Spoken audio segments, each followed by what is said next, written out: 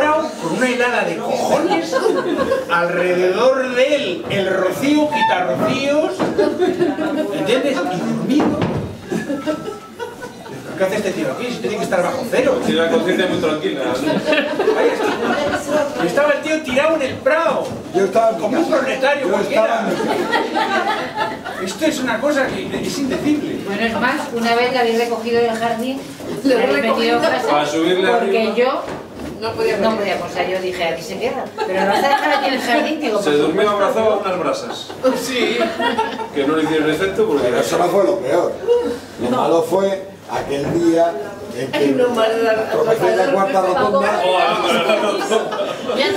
y me esto jode, llevaba a la casa diciendo ha llegado, Berlín y de Berlín". ha llegado Luis Miguel Yo, yo me acordé, Carlos... vaya morro que tiene esto que me habían dejado marchar Carlos ni se acordaba que te había sido. bien Carlos.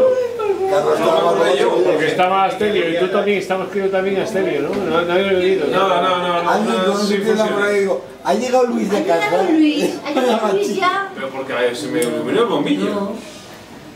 Bueno, no, no pasa nada, no pasa nada. De rato. Ha llegado.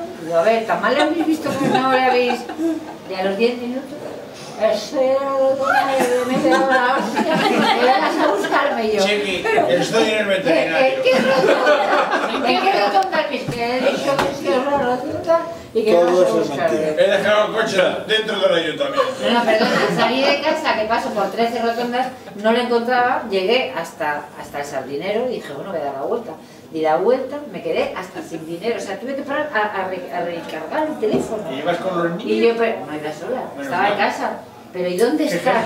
Estaba. Se había ido el cabrón desde la rotonda a detrás de un edificio por si venía la policía. ¿Para qué lo dije? No, estaba mamá, pero todavía tenía que Sentido común.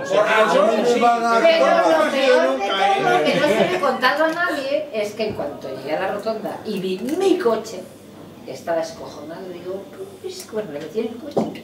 Y antes de empezar a chillar empezó, oh, porque esto es la hostia, la, culpa porque es que, es que me han emborrachado los amigos que son malos Ah, culpa de nosotros,